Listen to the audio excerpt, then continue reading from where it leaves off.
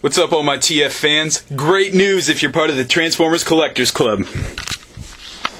Sideburn is now out. That's right, just got mine in the mail today. So if you ever missed out on your chance to get Classics Rodimus, Battle in Space 2 pack Rodimus, BotCon Shattered Glass Rodimus, Henkei Wild Rider, or even Transformers Son of Cybertron, Crystal Henkei Rodimus. Well, good news, you can always get this guy. So it's a good news, bad news situation. It's just Rodimus repainted up to be the character Sideburn from Robots in Disguise. However, something pretty cool is the bio card. Let's take a look.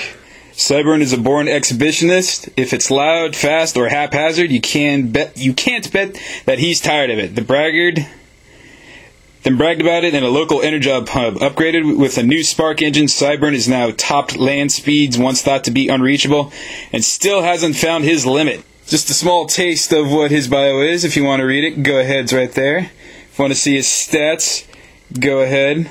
They're right there. Oh yeah, and there's the art. So yep, it's just Rodimus turned into Sideburn. Autobot Speedy Knight. Nothing new. But you know what the cool thing is? This line of dialogue that says, then bragged about it at a local Energon pub. Well, if you happen to be part of the club, and you happen to have Transformers Collectors Club February slash March 2011 issue, what's this? Oh my goodness. We got Sideburn bragging to the Ladybots in an Energon pub.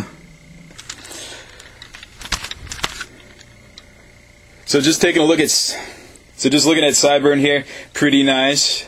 So just taking a look at Sideburn's paint, nice.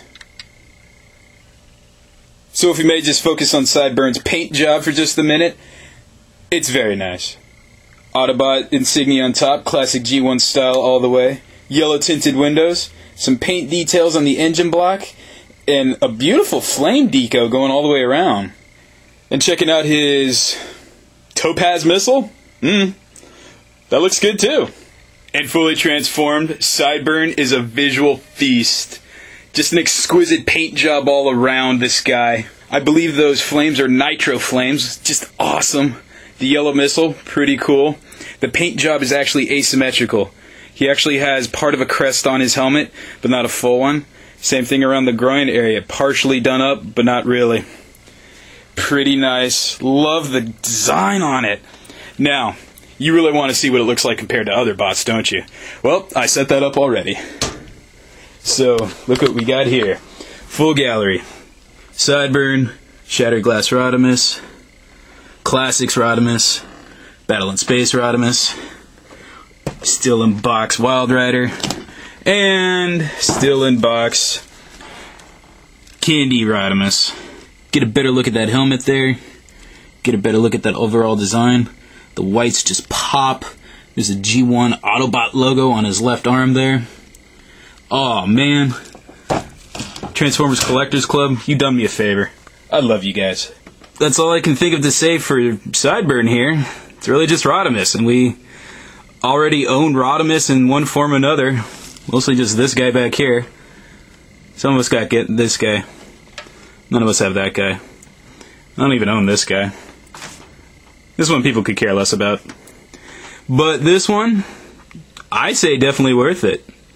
So if you don't mind dropping a few couple of bucks to join the collectors club to supposedly get this guy for quote unquote free, then by all means do it. Cause he is awesome. He's also a liar, a braggart, and a ladies' man. My hero.